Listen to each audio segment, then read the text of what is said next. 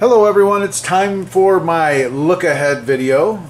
So we're looking ahead to New Comic Book Day, March the 22nd, 2023. A lot of books to go through. This is going to be a big, big week. And uh, we'll talk about my theme later. There is a uh, there is a purpose to this. But we will get to that. So let's start with independent books. And it's a big week for indies. There's a lot of indie books coming out.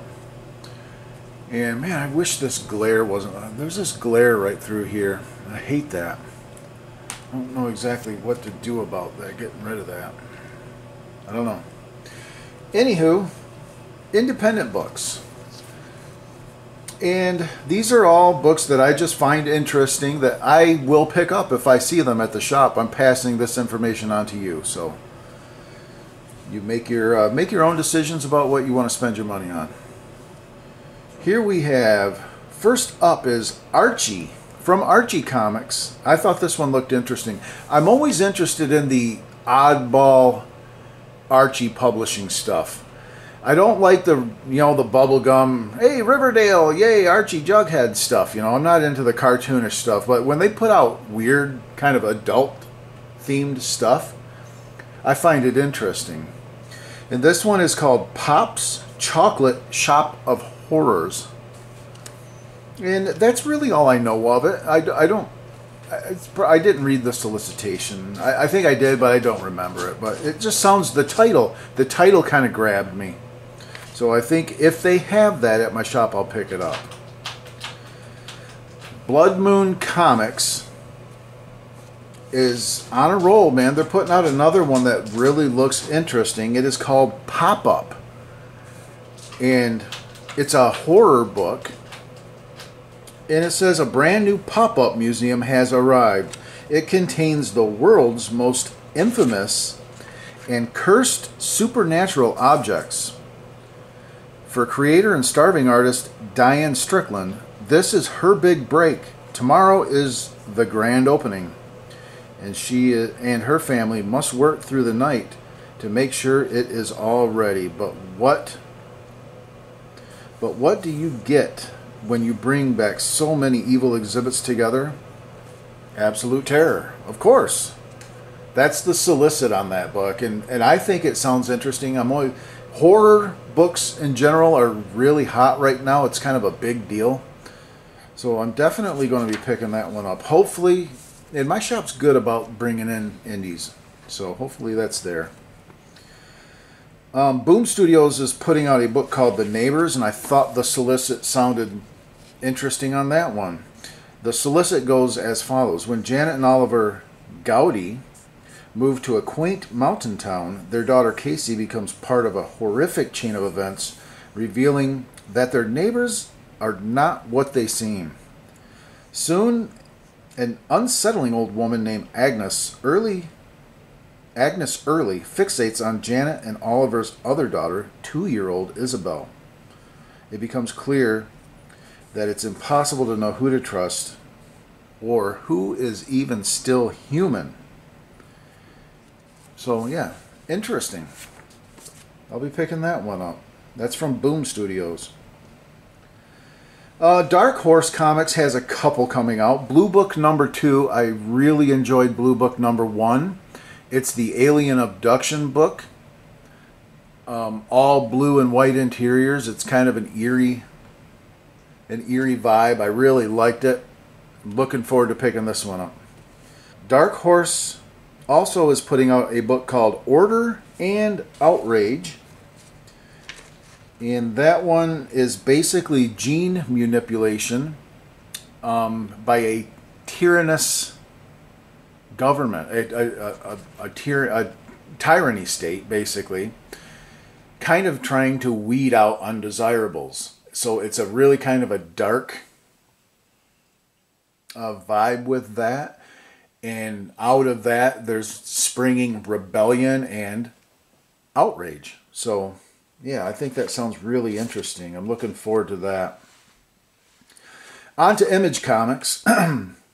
Image Comics has put out a book called Dead Romans Number One, and the solicitation was kind of uh, confusing. It's about this Germanic prince, it says, who uh, you know he wants to take down the uh, the empire that slayed his people or whatever, and so he's a prince. But then it says he wants to make a queen out of his woman who is a slave like him.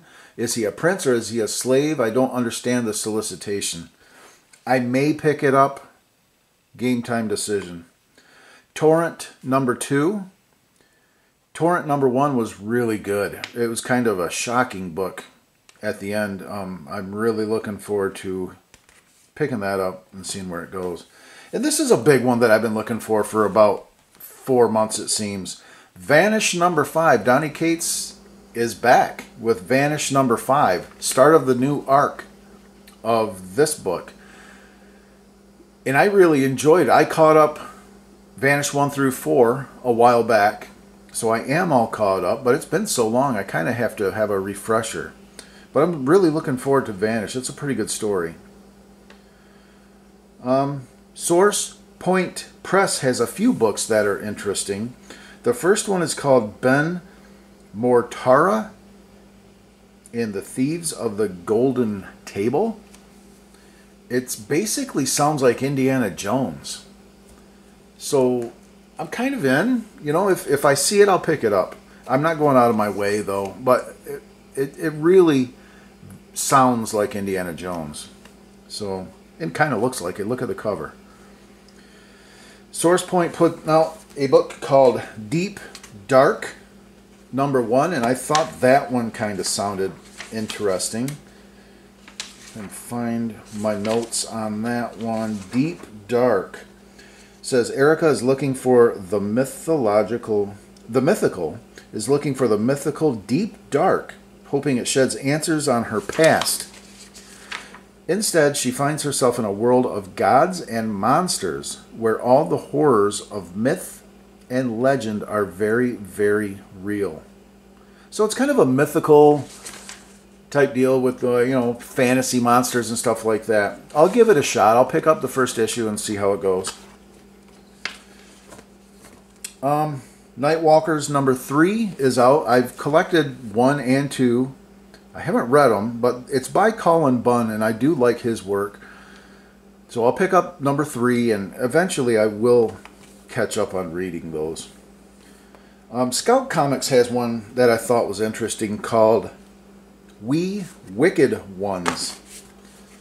And if I can find my notes on that, the solicitation on that one, it says After being orphaned in a mass witch burning orchestrated by the U.S. government, Celia Jordan grew up to be Washington, D.C.'s darkest secret.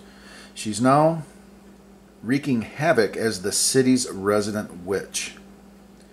The city's resident witch and its most sought after contract killer. When a politician hires her to kill a beloved and powerful superhero, Celia hesitates, but not for long. No one has been able to catch her yet. Why would they now? Featuring breathtaking cover by David Mack. And you can see that cover does look great. But yeah, so that's kind of a interesting sounding book. Sure. And Red 5, another indie. Red 5 puts out a book called Fallen that I found interesting. Um, and that one, if I can find my notes on that, it's about a uh, an ancient warrior who served Zeus, who had now turned into a uh, private detective. His name is Casper Clay, and he's just trying to solve a murder of a god at the hands of a mysterious killer. And as he gets closer to unraveling the truth, he learns there may be more at stake than solving a mystery. So, yeah, it's kind of a pretty good hook, I guess. We'll give it an issue and see give it one issue and see, right? Now we're going to move on to Marvel Comics. Amazing Spider-Man 22 is already out, and wasn't that just out a couple weeks ago? So they must be doing bi uh, bi-monthly on that, or bi-weekly, bi-weekly. every two weeks. ASM 22, um, who is Benjamin Rabin, Rabin.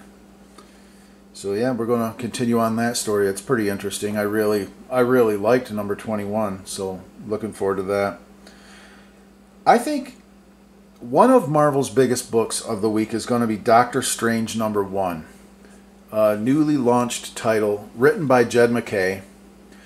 And Jed MacKay is a very good, very creative writer. He seems to like to create and put his stamp on stuff. So look for, don't sleep on that one. Definitely pick this one up. I'm going to pick up probably two copies.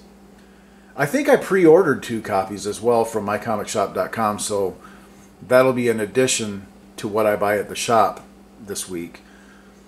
So uh, yeah, um, look for something either leading into a new character, maybe a cameo of something. You know, I'm I'm thoroughly expecting there to be something in that book of significance. Um, another one with a first appearance is She-Hulk number 11, and there is definitely confirmed in the solicit that there's a new villain going to be introduced in this book. And I've been buying this one all the way through. This has actually been a very good story, a good book. So I definitely recommend picking this one up. Not just for the spec, but actually reading it. It's a pretty fun, good story. Uh, Tiger Division number five is the wrap up of this Tiger Division miniseries.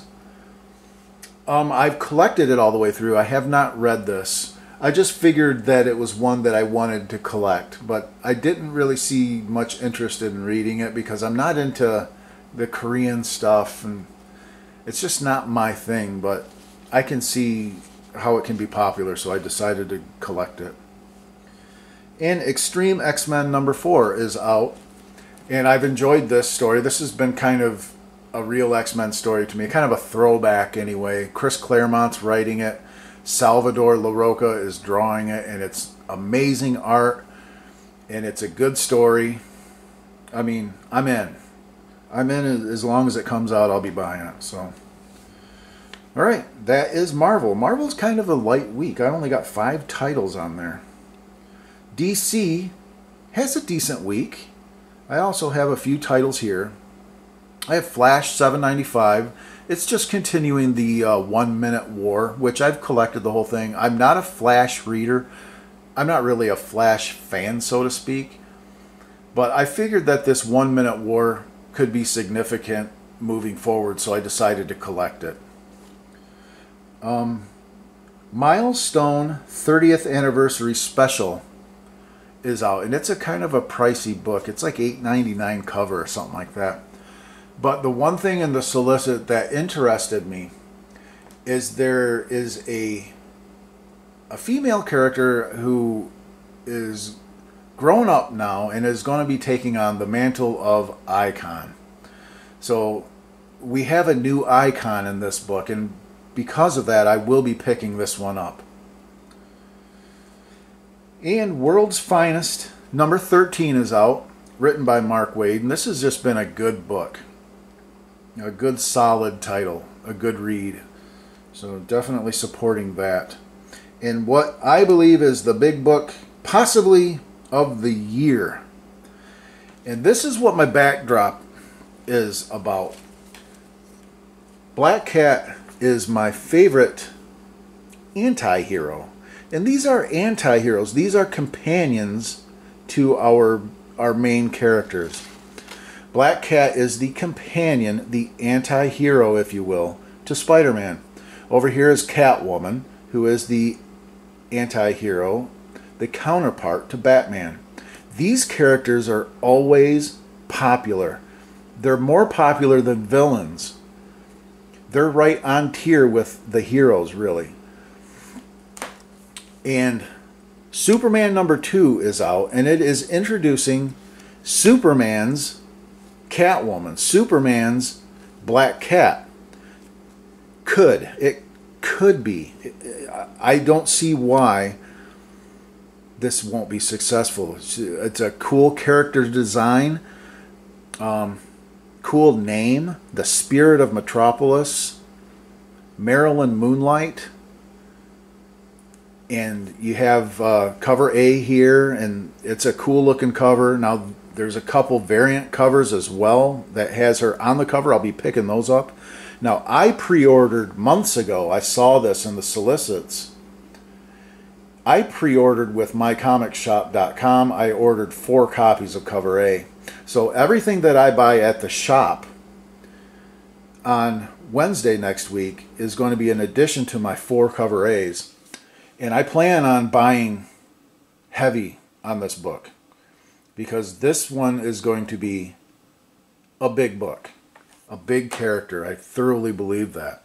And I would absolutely recommend everyone jump all over this because it's not often that you have a kind of anti hero like this, and Superman doesn't have that he's never, you know, and I am a Superman fan big time, and I want them to really grow his universe and grow his world. That's one thing that I think plagues Superman is he's just got he's got Lex Luthor, and then he's got a bunch of what I consider just kind of insignificant monster type bad guys. You know, I, I, don't like his rogues gallery at all. He doesn't he doesn't have the rogues gallery that Batman does per se. He doesn't have the characters that Batman or Spider-Man has per se, and they're they need to really make good characters for Superman's mythos. And I believe that Marilyn Moonlight, the spirit of Metropolis, is the start of that. And I think she's going to be a huge character going forward. So definitely jump all over that one, guys. And that is going to do it for the look ahead for this week. Lots of books, a lot of books out this week. So pick what you like and good luck with it. And I hope you get everything that you that you set out to get. All right, we'll check back in on a new comic book day haul video and I'll show you everything I picked up and hopefully it's everything that I want to get. All right, guys, see ya next week. Bye for now.